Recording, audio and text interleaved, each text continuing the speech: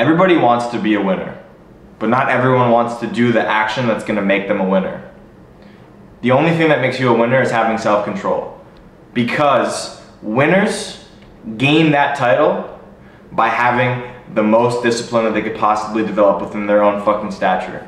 They have the most of every single character trait that a winner has. Because winning, the concept of winning, it always wants to get rid of everyone who isn't deserving of it because that's 99.9% of people. They're not deserving of becoming a winner and having that title.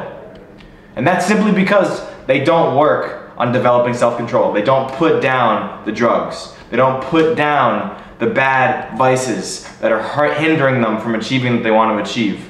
They're not able to sit down and reflect and look at themselves in the mirror and say, no, I can't do this shit anymore because I'm, I deserve more. It's the people that are willing to have the tough conversation with themselves and compete with themselves.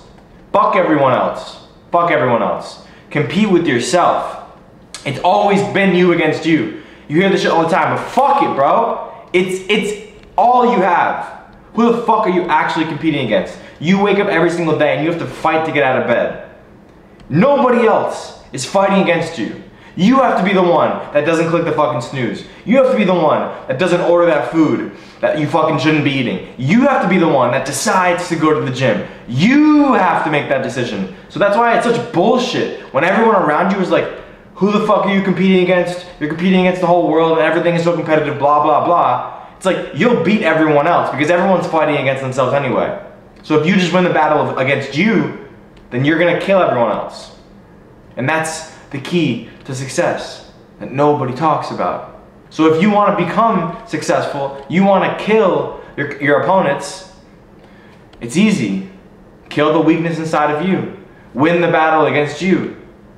Don't let these extra voices, all this contrary discussion about it should be this way or you should do it this way or why'd you do it that way? Just fuck with your head. Don't let it fuck with you.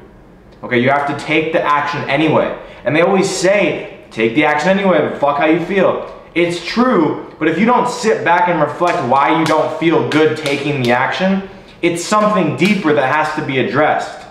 Something is clearly resisting the leap into the future best version of yourself. Within inside of you, something is resisting it. And because you feel that resistance and that tension in your heart, and it's like, why does it, why is it so tight? Or you feel your heart is constricting, like someone's gripping it. It's the anxiety, it's the fucking annoyance, it's the anger that builds up inside of you when you just can't figure out why you can't just be at peace. And it, there's a large plethora of reasons, and it's all specific to the individual. But I know for a fucking fact that that voice and those those constrictions within inside of your heart are no longer going to be there. They're going to dissipate when you start to be more congruent with what you say and what you do. These this bridge here, what you say and what you do, the bridge has to be like this, okay? Th th this is the connection to your fulfillment within inside of yourself. It's the amount of times you've broken your word is just probably abs it's fucking absurd how many times you've broken your word. So you genuine, and I made the fucking video on this. You talk to yourself in this negative manner. You're like, oh, why is everything happening to me? Why, why me? Why me? Why me? I'm guilty of it too, bro. I'm not saying I'm special. I'm trying to make you understand a fucking point. Is that it's the selfish talk that you have with yourself that will continuously make you feel more anxious, more depressed, more sad. Why isn't it going the way I want it to go? Why is there adversity being thrown away? You asked for it, bro. You did ask for it. You asked to become the best version of yourself. So you, God is giving you adversity, adversity, adversity. Test, test, test. Can you handle it? Are you gonna crumble? I know for a fact that I have moments where I'm like, holy shit, I didn't even realize this whole time I was being tested until later on when I might have fucked it up already. Or if I overcame it, I was like, wow, I just fucking overcame this. Like, holy shit. And you get this, this wave of clarity. Either way, you get a wave of clarity. Whether you succeed or whether you fail, because life is gonna show you, hey man, you just fucked it all up. Or, congratulations, on to the next level. That's all life is. It's just test after test after test after test. Level up, level up, level down. Fucking stagnation. Okay, we're going up again, we're going back down. Oh fuck, we just got knocked down. Gotta get back up. That's all life is. It's just constant. It's an endless battle, which is why you have to develop the character traits that are gonna be able to sustain long term in that, this endless battle of life.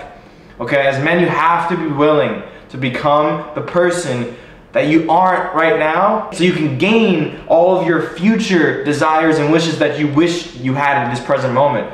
You have to sacrifice who you are now and become that person in the present moment that you envision yourself being. Once you have the clear vision in your mind, once it's once it's perfectly fucking clear, then you literally just have to take action by breaking it down how to get there. Once you break it down to the T, boom, boom, boom, boom, boom. Action, action, action, action, action. Write it, write down five things, six things, seven things, eight things. You gotta get done every single day. And if you can get all of them done every single day, that is the only thing that should give you dopamine. It is the only thing that should give you positive feedback. It shouldn't be the actual actual results that you're getting because the results are delayed. This is the one of the biggest struggles that I have.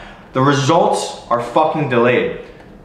The money that you want to make, you're not going to get that money for the work you put in today until months from now right? The physique you want. You're not gonna get that fucking physique that you want tomorrow by putting in the work today.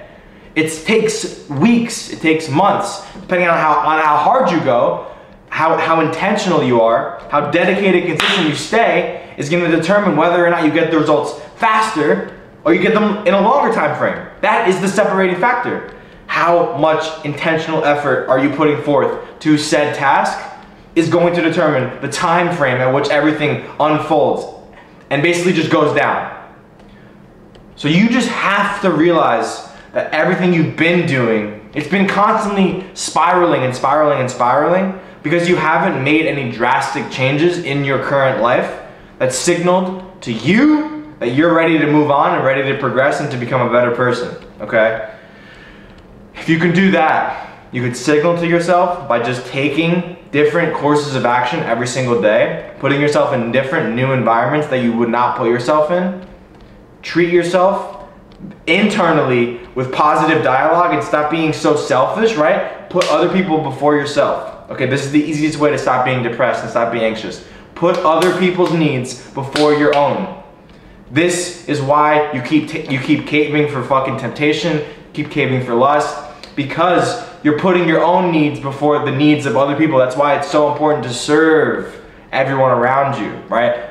If you, if you create a business that's a service-based business, you'll be so much more likely to develop better habits and to, develop better systems for yourself because you know that if you have the right systems and habits, that the people that you're servicing are just gonna follow you. That they're gonna be the people who you idolize in terms of for your own self, when you look in the mirror, you see yourself and you're like, this is the person that I want to be. So therefore, life is going to reflect your clients the same way, right? If you have a service business. And it's also going to completely get rid of any sort of negativity that you have within yourself. And as soon as you stop doing that though, you will go right back into the old, old version of yourself. And I know that for a fact.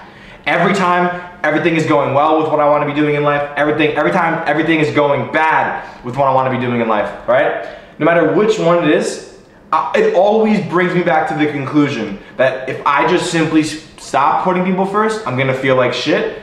And if I start being more self-absorbed, self-absorbed, I'm gonna feel like shit. But if I start putting other people first again, and I start prioritizing how can I motivate them? How can I help my clients get better results faster? How can I create better systems so that they can get better results? Right? It's like whatever it is for you, how can you do XYZ thing, insert your own shit? How can you do that better so that you can help whoever it is you need to help? That's, that's the key to overcoming all these obstacles within yourself. But it only starts when you decide to make that decision for yourself. So just make the decision, man. And stop putting it off. Stop waiting until tomorrow. Even if it's uncomfortable, that's part of life. Life is gonna be uncomfortable. Life is gonna be fucking confusing. You're not gonna, it's gonna be foggy. You're not gonna know what to do sometimes. But it's about the trust and the faith and the action that everything is gonna work out the way that you wanted it to work out just because you trusted the process and took the action because you also made it easier for yourself. You wrote, you wrote it down. You might write it down the day before and then the next day you wake up and you're like, I don't want to do this. But at least you wrote it down the night before, so now you have no excuse. But if you don't write shit down, you might forget about it, you might get distracted on TikTok or Instagram or social, some social media and just fuck off. And then two days later you might remember it again. and then you're not gonna write it down again. You're not gonna do it. V- very rarely is everything gonna line up perfectly unless you intentionally decide to, to just put time into that thing and whatever else you were gonna do, you just don't do it and you do the thing you're supposed to do. Very rarely is everything gonna line up perfectly where the stars are gonna align and you're gonna be able to get it done even when you don't write it down and you don't set time apart from everything else to do it. And it's never gonna happen pretty much.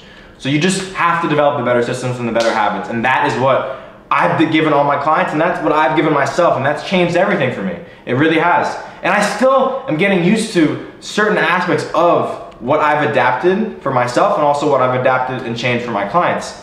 And it's everything is an evolutionary process, but that's that's what life is about. It's about evolving, it's about adapting, and it's about at the end of the day trying to get rid of the weak, weak, weak versions of yourself, the weak parts of you, and replacing them and making them stronger so that you don't have any more weak points.